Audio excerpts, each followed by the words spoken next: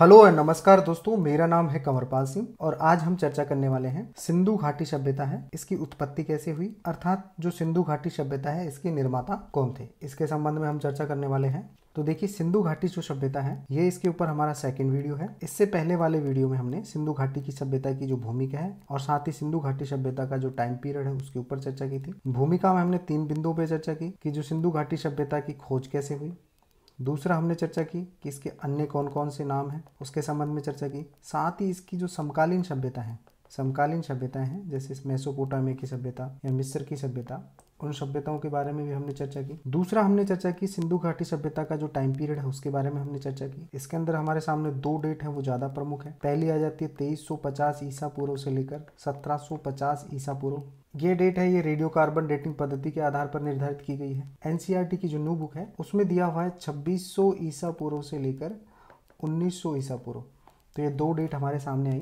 तो ये वीडियो आपने अगर नहीं देखा तो इसका जो लिंक है वो आपको डिस्क्रिप्शन में मिल जाएगा। आप वहाँ पे जाके चेकआउट कर सकते हैं। और आज हम चर्चा करने वाले हैं कि सिंधु घाटी सभ्यता की उत्पत्ति ये कैसे हुई थी? अर्थात जो सिंधु घाटी सभ्यता है, इसके निर्माता कौन थे?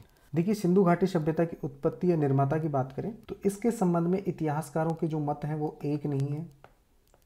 अलग अलग इतिहासकारों के अलग अलग मत हैं। तो यहाँ पर अभी तक हमें कोई स्पष्ट मत प्राप्त नहीं हुआ तो इसको भी दो भागों में डिवाइड किया गया है। पहला है विदेशी उत्पत्ति का सिद्धांत और दूसरा आ जाता है देशी उत्पत्ति का सिद्धांत। देखिए, विदेशी उत्पत्ति के सिद्धांत को मानने वाले जो इतिहासकार हैं, उनका मानना है कि जो सिंधु घाटी सभ्यता के जो निर्माता थे, वो सुमेरियन अर्थात जो मेसोपोटामिया की सभ्यता है, इन्हीं के लोगों के द्वारा सिंधु घाटी सभ्यता का विकास किया गया था। जबकि इनके विपरीत जो देशी उत्पत्ति अर्थात स्थानीय उत्पत्ति के सिद्धांत को मानने वाले जो इतिहासकार हैं, उनका मानना है कि जो सिंधु घाटी सभ्यता के जो निर्माता थे, वो कोई विदेशी नहीं थे। सिंधु घाटी सभ्यता के जो निर्माता थे, वो स्थानीय थे, अर्थात भारत से ही उनका संबंध था। तो सबसे पहले हम चर्चा करते हैं विदेशी उत्पत्ति के सिद्धांत के बारे में चर्चा करते हैं। तो देखिए, विदेशी उत्पत्ति के सिद्धांत को मानने वाले जो इतिहासकार हैं, उनमें प्रमुख नाम है गार्डन चाइल्ड का, क्रेमर डी डी कोसाम्बी और एच डी साकलिया का। इन लोगों का मानना है कि जो सिंधु घाटी सभ्यता के जो निर्माता थे वो मेसोपोटामिया से थे, अर्थात मेसोपोटामिया की सभ्यता का एक और नाम है सुमेरियन सभ्यता। तो इनके निर्माता सुमेरियन थे। तो देखिए, यहाँ पर जो गार्डन चाइल्ड है, वो कहते हैं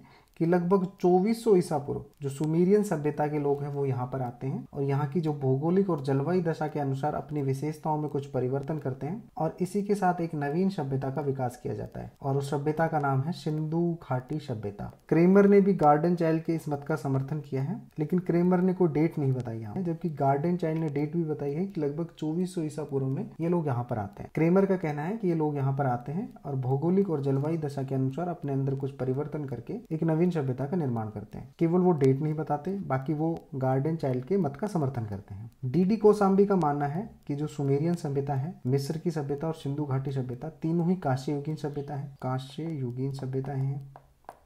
तो इस आधार पर इन तीनों के जो निर्माता है वो एक रहे होंगे, अर्थात इन तीनों के निर्माता सुमेरियन है। जबकि एच डी साकलिया ने कहा कि जो बलूचिस्तान में कुछ चबूतरे जैसी संरचनाएँ पाई गई हैं, वो सुमेरियन जिगरुत से मिलती हैं। देखिए, जिगरूत क्या होता है? जिगरूत चबूतरे जैसी एक संरचना होती है, जो नीचे से चौड़ी और ऊपर से जाकर ये सकड़ी हो जाती है, जिसे कहते हैं जिगरूत कहते हैं।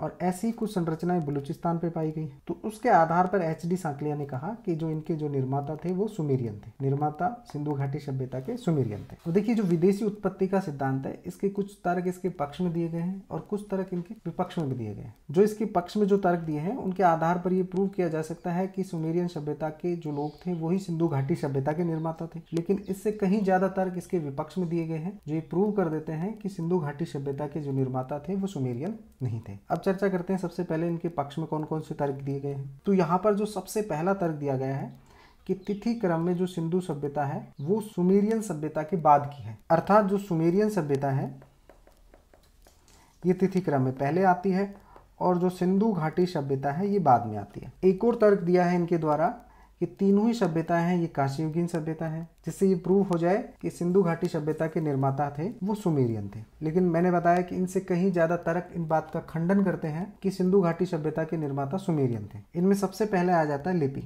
देखिए, लिपि की बात करें तो सिंधु घाटी सभ्यता की जो लिपि थी, ये भाव चित्रात्मक लिपि थी।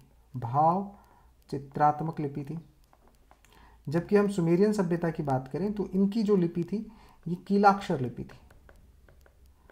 तो इनके जो लिपि चिन्ह में भी काफ़ी अंतर है। तो इस बात से प्रूव किया जा सकता है कि सिंधु घाटी सभ्यता और जो सुमेरियन सभ्यता में काफ़ी अंतर है। दूसरा जो अंतर दिया गया है, वह है नगर नियोजन।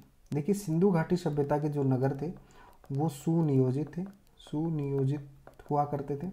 साथ ही सिंधु घाटी सभ्यता एक नगरीकृत सभ्यता थी। यदि हम बात करें सुमेरियन सभ्यता की तो जो सुमेरियन सभ्यता है, ये अर्ध नगरीकृत सभ्यता थी। साथ ही सुमेरियन सभ्यता में कोई सुनियोजित नगर नहीं हुआ करते थे। अभी तक ये पूर्ण रूप से नगरीकृत सभ्यता भी नहीं बनी थी। और सिंधु घाटी सभ्यता इससे कहीं ज़्यादा डेवलप दिखाई देती है। तीसरी बात करें कि सिंधु घाटी सभ्यता में नाली व्यवस्था बहुत अच्छी थी, जबकि सुमेरियन सभ्यता में ऐसा नहीं है। चौथी बात करें, ईंटों की बात करें तो सिंधु घाटी सभ्यता में जो ईंटें पाई गई है, वो एक निश्चित आकार में थी। चार अनुपात, दो अनुपात, एक, जबकि सुमेरियन सभ्यता में ऐसा नहीं है। दूसरा हम बात करें ईंटों की तो सिंधु घाटी सभ्यता में जो ईंटें पाई गई है, वो पक्की ईंटें थे। उनको आग पर पकाया जाता था। जबकि सुमेरियन सभ्यता में जो ईंटें थी वो कच्ची थी। उनको धूप में पकाया जाता था। मोहरों की बात करें तो देखिए सिंधु घाटी सभ्यता की जो मोहरें थी, वो वर्गाकार हुआ करती थी। यहाँ पर हम एक सिंधु घाटी सभ्यता की मोहर का उदाहरण देख सकते हैं। ये मोहरें थी, ये वर्गाकार हुआ करती थी और साथ ये सेलखड़ी से बनाई जाती जबकि हम बात करें सुमेरियन सभ्यता की मोहरों की बात करें तो ये बेलनाकार हुआ करती थी तो इनकी मोहरों में भी काफ़ी अंतर है। हाँ ये सच है कि बहुत सारी जो हड़प्पा कालीन मोहरें हैं, वो हमें सुमेरियन सभ्यता में मिलती हैं और बहुत सारी जो सुमेरियन सभ्यता की मोहरें हैं, बेलनाकार मोहरें हैं ये हमें हड़प्पा कालीन सभ्यताओं में भी प्राप्त हुई हैं। तो ये इससे ये स्पष्ट हो जाता है कि दोनों सभ्यताओं के मध्य व्यापारिक संबंध हुआ करते थे। तीसरा हम बात करें सड़कों की बात करें तो देखिए सिंधु घाटी सभ्यता की बात करें तो सड़कें एक दूसरे को समकोण पर काटती थी और सड़कें काफ़ी सुनियोजित हुआ करती थी, जबकि सुमेरियन सभ्यता में हमें यह सब देखने को नहीं मिलता। और सातवां जो सबसे बड़ा अंतर है यहाँ पर, वो है मंदिर का। देखिए सुमेरियन सभ्यता है, यहाँ पर मंदिर जैसी संरचनाओं के काफ़ी अवशेष प्राप्त हुए यहाँ पर हम बात करें सिंधु घाटी सभ्यता की तो सिंधु घाटी सभ्यता में मंदिर जैसी संरचना के अभी तक हमें कोई अवशेष प्राप्त नहीं हुए हैं। तो इस बात से ये प्रूव हो जाता है कि जो सिंधु घाटी सभ्यता है, इसके निर्माता सुमेरियन नहीं थे। क्योंकि यह पॉसिबल नहीं है कि जिन लोगों की खुद की सभ्यता भी पूर्ण रूप से विकसित नहीं हुई थी और वो किसी अन्य स्थान पर अपना उपनिवेश या कॉलोनी बसाकर उस सभ्यता को पूर्ण विकसित या ज़्यादा विकसित सभ्यता डेवलप कर सके तो ये पॉसिबल नहीं है। अब हम चर्चा करते हैं देसी अर्थात स्थानीय उत्पत्ति के सिद्धांत की चर्चा करते हैं। तो इसमें जो सबसे पहला जो सिद्धांत आता है, वह है कि सिंधु सभ्यता के जो निर्माता थे वह आर्य थे। और इस मत का जो समर्थन करने वाले हैं, वह डॉक्टर लक्ष्मण स्वरूप, रामचंद्र बीबीलाल। बीबीलाल की एक पुस्तक है, द सरस्वती फ्लो जोन। अर्थात जो सरस्वती और इसके आसपास जो सिंधु घाटी सभ्यता के स्थल मिले हैं, उनसे ये स्पष्ट हो जाता है कि सिंधु घाटी सभ्यता के जो निर्माता थे वह आर्य थे। और इनका जो मत है इसके संबंध में वो ये है कि सिंधु घाटी सभ्यता का क्षेत्र और जो नदियाँ हैं, दोनों में काफ़ी समानताएँ हैं। तो इस आधार पर ये प्रूव किया जा सकता है कि सिंधु घाटी सभ्यता के जो निर्माता थे, वो आर्य थे। लेकिन इनके विपक्ष में भी कुछ तर्क दिए गए हैं, जिससे ये प्रूव हो जाए कि सिंधु घाटी सभ्यता के जो निर्माता थे, वो आर्य नहीं थे।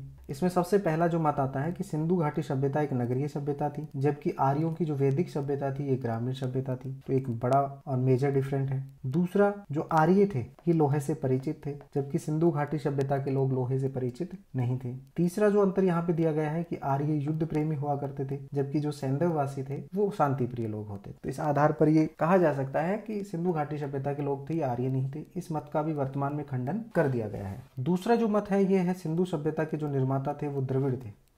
और इस मत को मानने वाले हैं राखलदास बनर्जी, अर्थात आर डी बनर्जी। इनका मत है कि सिंधु घाटी सभ्यता की जो प्रजाति है वह भी भूमध्य सागरीय है, जबकि द्रविड़ लोगों की जो प्रजाति है, यह भी भूमध्य सागरीय है। तो देखिए, यहाँ पर एक चीज़ मैं आपको स्पष्ट कर दूँ कि सिंधु घाटी जो सभ्यता है, यहाँ पर पाए जाने वाले जो लोग थे, उनमें बहुसंख्यक थे भूमध्य सागरीय प्रजाति के लोग। और इसी आधार पर आर डी बनर्जी ने कहा था कि इनके निर्माता द्रविड़ रहे होंगे। दूसरी जो इनके अंदर समानता थी, वह थी कि शिव पूजा मातृ पूजा और लिंग पूजा आपको द्रविड़ में भी मिलती है और दूसरा सिंधु घाटी सभ्यता में मिलती है। तो इस आधार पर भी आर डी बनर्जी ने कहा कि इनके जो निर्माता थे वो द्रविड़ थे। देखिए, सिंधु घाटी सभ्यता में अगर शिव पूजा की बात करें तो एक आद्य शिव की हमें ये जो मूर्ति प्राप्त हुई है यहाँ से हमें शिव पूजा के अवशेष प्राप्त हुए हैं। लेकिन कुछ तर्क ऐसे हैं जो ये स्पष्ट कर देते हैं कि सिंधु घाटी सभ्यता के निर्माता आर्य नहीं थे। उनमें जो सबसे पहला तर्क है, यह है कि सिंधु घाटी सभ्यता के जो लोग थे, वो शिव पूजा और मातृ पूजा के अलावा भी अन्य पूजा के भी साक्ष्य प्राप्त हुए जैसे प्रकृति पूजा। दूसरा जो मेजर अंतर है कि द्रविड़ जो वर्तमान में है, इनकी सभ्यता वर्तमान में भी ग्रामीण संस्कृति या ग्रामीण सभ्यता है। तो ये पॉसिबल नहीं है कि प्राचीन काल में इनकी सभ्यता नगरीय हो और वर्तमान में ग्रामीण हो। तो इस आधार पर यह कहा जा सकता है कि सिंधु घाटी सभ्यता के जो निर्माता थे, वो द्रविड़ नहीं थे। आधुनिक मत के अनुसार इसका भी खंडन कर दिया जाता है। तीसरा जो मत दिया गया है, वह है ईरानी बलूचिस्तानी संस्कृति से सिंधु घाटी सभ्यता का विकास हुआ था। ईरानी बलूचिस्तानी संस्कृति, इनमें प्रमुख संस्कृति आ जाती है कुल्ली, नाल और आमरी। ये तीनों ही पूर्व हड़प्पाकालीन ग्रामीण संस्कृति है। तो इनके मानने वाले हैं फेयर सर्विस और रोमिला थापर का कहना है कि पूर्व हड़प्पाकालीन स्तर रहे कुल्ली, नाल, आमरी। और फिर धीरे धीरे इनका विकास होकर ये नगरीकृत सभ्यता बनी, नगरीकृत सभ्यता बनी।